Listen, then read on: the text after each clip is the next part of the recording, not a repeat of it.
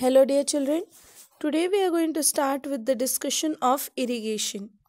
The process of supplying the water to the crop plants in regular interval of times is called irrigation. Water is key input for crop production. The process of supplying water to crop plants by means of canals, reservoirs is known as irrigation. Irrigation is necessary for the survival and proper development of the crop plant. Thus, in agriculture, irrigation fulfills the following goals. Crop plants are irrigated with fresh water to supply two essential elements to them hydrogen and oxygen.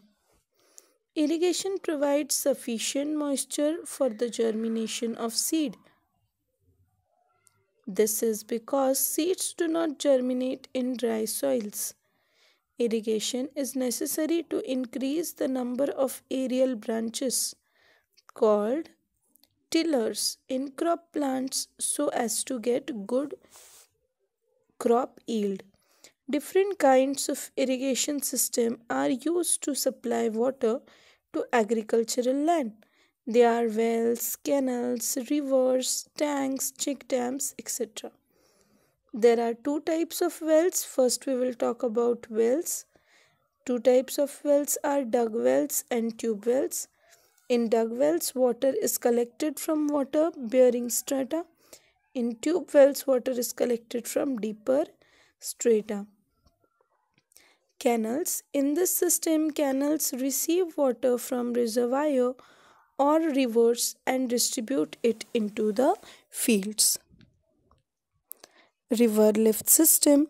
In this system, water is lifted from rivers to irrigate fields close to rivers. Tanks. These are small storage reservoirs which supply water to fields. Fifth is check dams. These are used to stop rainwater from flowing away and helps to increase groundwater levels and reduce soil erosion. Sprinkler system. It is mostly used in canal irrigated areas of Haryana, Madhya Pradesh and Rajasthan. In this system, water is sprinkled throughout the radius of the sprinkler. Sprinkler is a horizontal pipe raising from its pipeline with a nozzle fitted at the top of it which rotates sprinkling the water in the area evenly spring so children this was about the different irrigation techniques